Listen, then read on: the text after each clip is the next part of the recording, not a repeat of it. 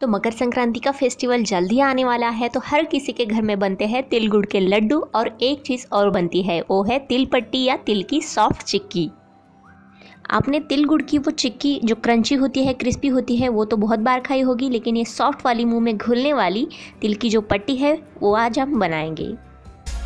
तो नमस्ते दोस्तों, मैं हूँ सीमा और स्वागत है आपका आपकी अपनी दावत में।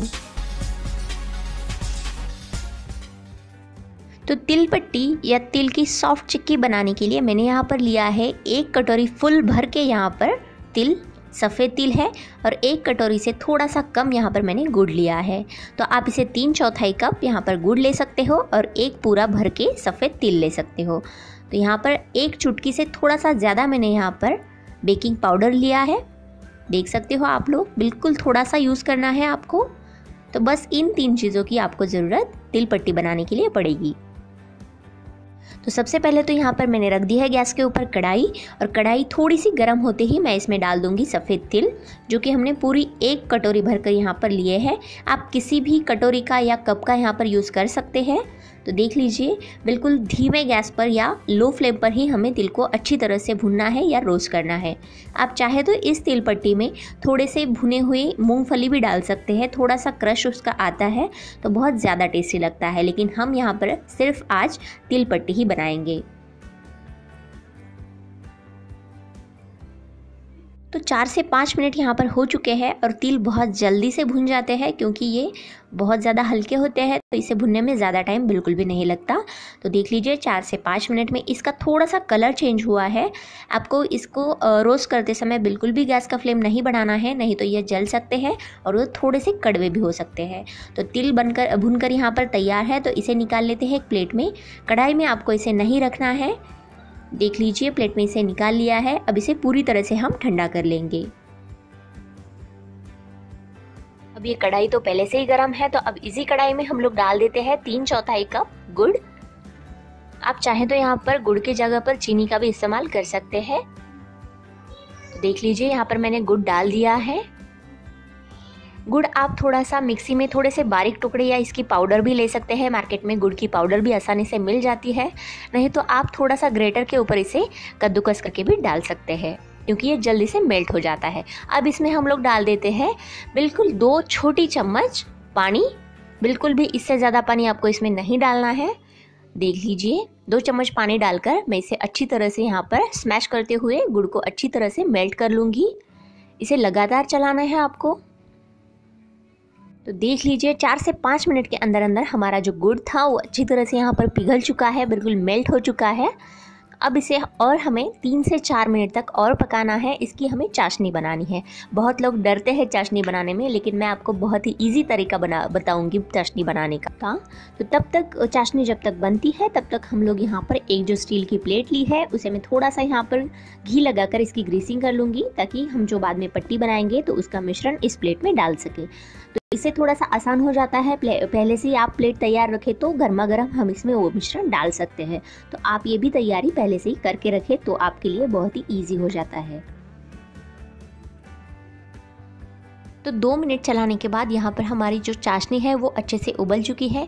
अब हम लोग कैसे चेक करेंगे कि ये पट्टी बनाने के लिए तैयार हुई है या नहीं? तो ये बिल्कुल एक सिंपल तरीका आपको मैं यहाँ पर बताना चाहूँगी। मैंने एक कटोरी में ठंडा नॉर्मल पानी लिया है।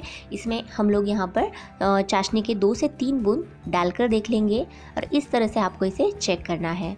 अगर ये बहुत ज़्यादा चिपचिपी है या इसकी एक गोली जैसा बनता है चिपचिपा सा तो ये अभी तक तैयार नहीं हुई है। आप लोग देख सकते हैं, बहुत ज़्यादा पतली है तो ये अभी बिल्कुल भी रेडी नहीं है। अब आप लोग इसकी अभी चिक्की बनाएँगे तो ये बहुत ज़्यादा चिपचिपी हो जाएगी, चिवी हो जाएगी। अब हम लोगों को गैस का फ्लेम मैंने बंद कर दिया था, अब एक बार और गैस का फ्लेम चलाकर इसे हमें दो मिनट तक और पकाना होगा और फिर बाद में एक बार चेक करना पड़ेगा। तो पहली बार तो हमारी चाशनी तैयार नहीं हुई थी, बहुत ज़्यादा चिपचिपी थी तो और दो मिनट मैंने इसे पका लिया है। अब हम हम लोग फिर से इसे चेक कर लेते हैं।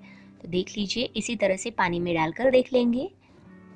और देख लीजिए यहाँ पर, बिल्कुल इसका एक क्रंची टुकड़े जैसा हाथ में हो रहा है तो बिल्कुल ये अभी रेडी है। तो इसी टाइम हमें जल्दी से तुरंत इसमें डाल देनी है चुटकी भर बेकिंग पाउडर एक बार अच्छे से मिक्स करना है। फटाफट से आपको एक काम करना होगा और डाल देने हैं तिल जो हमने भून कर रखे थे पहले से ही। एक बार अच्छी तरह से इसे मिक्स कर लेंगे।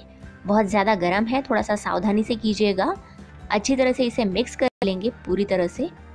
और इस समय मैंने गैस का फ्लेम बिल्कुल बंद कर दिया है नीचे से। अब हमने जो पहले से ही प्लेट रखी थी ना ग्रीस करके घी वाली, उसी में इस मिश्रण को डाल देना है। तो आपने पहले से ही रखी थी, इसीलिए बहुत ज़्यादा फास्ट करना पड़ता है तो पहले से ही करके रखिए और इस तरह से इसे देखिए, इस तरह से इसमें मैंने डाल दिया है। आप किसी भी कटोरी की हेल्प से इसे अच्छे से स्प्रेड कर सकते हैं। तो यहाँ पर देख सकते हो आप लोग, मैंने इसे अच्छी तरह से कटोरी की हेल्प से इसे स्प्रेड कर भी दिया था और इसे मैंने निशान भी लगाए हैं कट लगाए हैं। आप जिस भी शेप में इसे कट करना चाहते हैं, कर सकते हैं। तो अब इसे 10 से 15 मिनट लगेंगे सेट होने के लिए। तो 10 से 15 मिनट में हमारी जो तिल की पट्टी है, बहुत ही सॉफ्ट वाली मुँह में डालते ही घुल जाती है। सच में आप ज़रूर एक बार इसे ट्राई कीजिए और अगर ये वीडियो आपको अच्छा लगा है तो प्लीज़ इसे लाइक कर दीजिए। अब यहाँ पर मैं आपको इसे तोड़ कर दिखाना चाहूँगी। अभी भी ये पूरी तरह से ठंडी नहीं हुई है सेट नहीं हुई है, लेकिन मुझे ना बहुत ज़्यादा जल्दी हुई है, मुझसे रहा नहीं जा रहा है, इसीलिए मैं आपको दिखाना चाहूँगी। तो देख लीजिए, हाथ से तोड़ते ही इसके बिल्कुल सॉफ्ट टुकड़े बन पा रहे हैं, बहुत ही टेस्टी बनी है। तो है ना सॉफ्ट वाली चिक्की या तिलपट्टी घर पर बनाना आसान? तो ज़रूर इसे मकर संक्रांति पे ट्राई कीजिए और मुझे कमेंट बॉक्स में बताइए कि आपको ये रेसिपी कैसी लगी। और हाँ ऐसी नई नई और बहुत सारी टेस्टी रेसिपीज़ को और देखने के लिए दावत चैनल को ज़रूर सब्सक्राइब कीजिए। साथ में जो बेल आइकन है, उसे भी प्रेस कर दीजिए। Thanks for watching